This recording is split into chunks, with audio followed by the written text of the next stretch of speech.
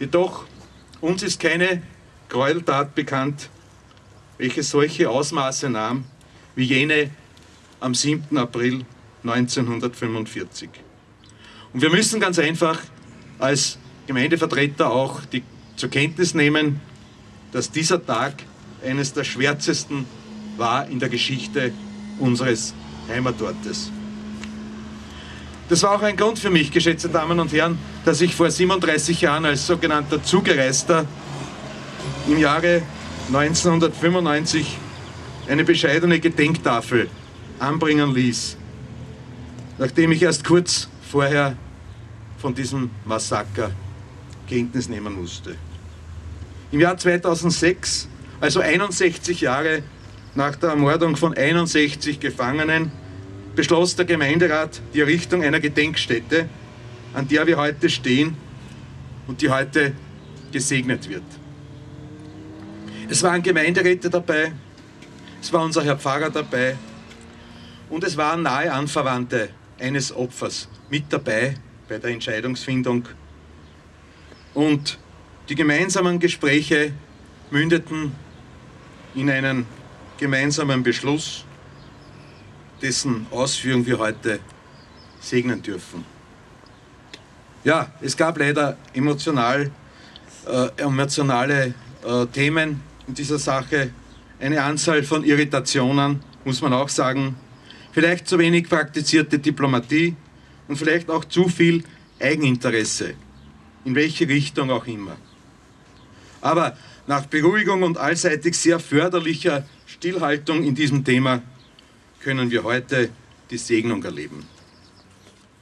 Sehr geehrte Damen und Herren, für den Gemeinderat der Marktgemeinde Hadersdorf-Kammern, für alle Bewohner dieses Ortes steht dieser Gedenkstein für die Ermordung aller des Zweiten Weltkrieges. Dieser Gedenkstein steht auch für die 386 Gefangenen aus Stein, wo sicher ein Teil dieser Inhaftierten aus politischen Gründen festgehalten wurde, wo die Gefangenen nach der Freilassung und bei der Flucht in alle Richtungen, zum Teil von Häschern gestellt und in den verschiedensten Orten unserer Region ermordet wurden. Dieser Gedenkstein steht aber auch für jene Menschen, die während des Krieges aus Gründen der Religion, der Rassenzugehörigkeit, der politischen Gesinnung nicht aus dem sogenannten tausendjährigen Reich flüchten konnten und ermordet wurden.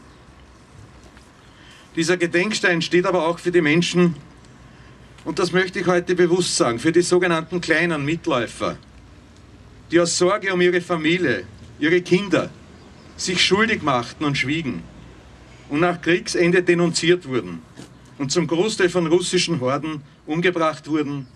Ich kann hier aus meiner traurigen Erfahrung, aus meiner Badener Kindheit einiges erzählen. Aber auch dieser Gedenkstein steht für jene Menschen, die in einen ungewollten Krieg ziehen mussten, Desertation, nicht aktives Mitwirken mit dem Leben bezahlen mussten, aber auch durch Kriegshandlungen das Leben verloren. Dieser Gedenkstein steht für alle armen Menschen, die durch den Krieg, infolge der Umstände um den Krieg, ihr Leben verloren. Sie alle dienen uns als Mahnung, geschätzte Damen und Herren, sehr achtsam zu sein, dass sich solche Gräuel nicht mehr ereignen mögen. Vor einigen Tagen, geschätzte Damen und Herren, kam es zu einem bemerkenswerten Akt.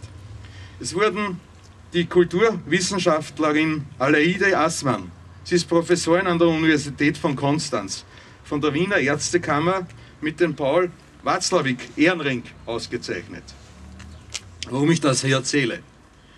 Die Ärztekammer setzt Preise aus für Verbindung von Philosophie, Psychologie, aber auch mit der Gesundheit. Und die Arbeit der Dame hieß Gedächtnis und Erinnerung.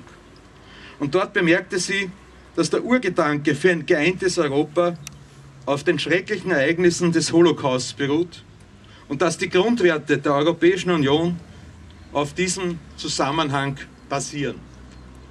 Sie bemerkte aber auch, dass die grauenhaften Verbrechen des Stalinismus und des Kommunismus viel zu wenig mahnendes Gedankengut und Inhalt europäischer Grundwerte sind.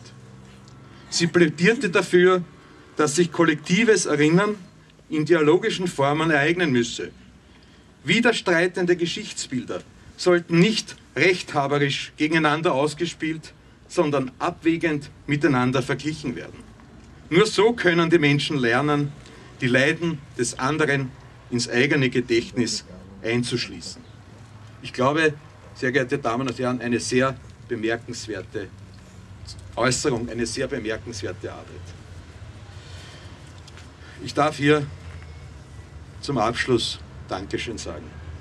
Danke, dass Sie dabei waren. Danke an diesen Ausschuss, der hier versucht hat, eine für alle tragbare Lösung zu finden.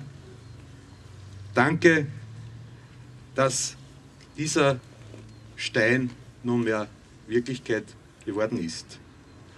Und ich appelliere an Sie, mitzuwirken durch aktives Gestalten, aber auch durch bewusstes Entgegentreten, jedweden Strömungen hier Einhalt zu gebieten. Wehret den Anfängern von rechts, aber auch von links. Und dass sich diese grauenhaften Zustände, wie sie im Dritten Reich und auch nach dem Kriege, und das betone ich, und auch nach dem Kriege geherrscht haben, nie mehr wiederholen mögen.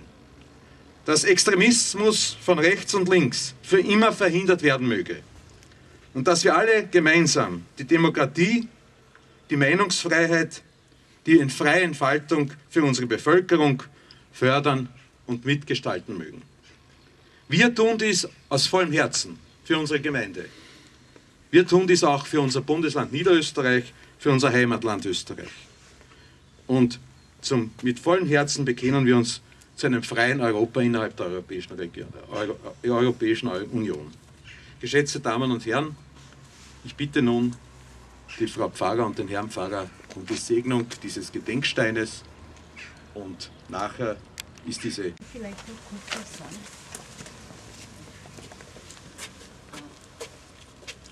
Ich bin Matzderker, mein Vater war einer der 61 Ermordeten. Ich habe es nicht sehr nett von Ihnen gefunden, dass Sie mich nicht gegrüßt haben. Also, nein, bin ich nicht. Äh, ja. Also, äh, ich möchte nur sagen, äh, die Arbeitsgruppe, die. Äh, die Nachher ist nicht sehr gut, wenn Sie so, ja, okay. Die Arbeitsgruppe, die vor vier Jahren gegründet wurde, ist zu keinem Schluss gekommen. Das heißt, wir haben diesem Denkmal nicht zugestimmt. Der Text auf diesem Denkmal ist von meinem Sohn. Ja. Nur möchte ich sagen, hier fehlt ein Wort. Das ist scheinbar absichtlich weggelassen worden, weil es hat geheißen 61 politische Gefangene. 61 politische Gefangene hat es geheißen. Und sie haben den Text von meinem Sohn einfach genommen, ohne zu fragen, ob wir einverstanden sind, damit er sie ihn ändern. Ich würde Sie suchen, das können Sie heute am Nachmittag sagen. Nein, wir sind hier in einer feierlichen Feier zu Ehren. Und ich habe hingewiesen berührt, auf ja? das rechthaberische äh, auf die rechthaberischen Haltungen dieser Positionen. Nein. Ich Gut. Sage, bevor Sie es ausdiskutieren, beschließen wir, mit beschließen wir die Feier. Und bitte. Sie sind eingeladen, das dann noch.